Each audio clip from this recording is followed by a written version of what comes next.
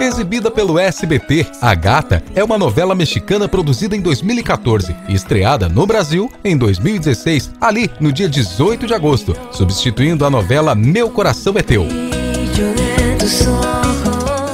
Escrita por Nathalie Nartilux, baseada na obra de Inês Rodena, a novela conta a história de Esmeralda e Paulo, que apesar da diferença de classe desde pequenos, são grandes amigos.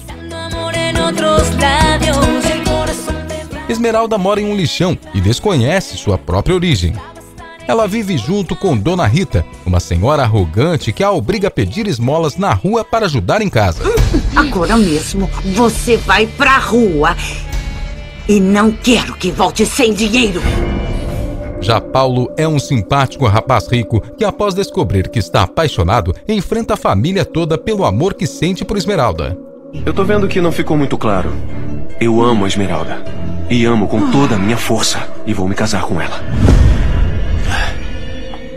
Paulo é filho de Lorena, uma mulher rica e ignorante que sempre repudiou a amizade entre Paulo e Esmeralda. Levanta e sai agora mesmo da minha casa. Pra rua, que é lá o seu lugar.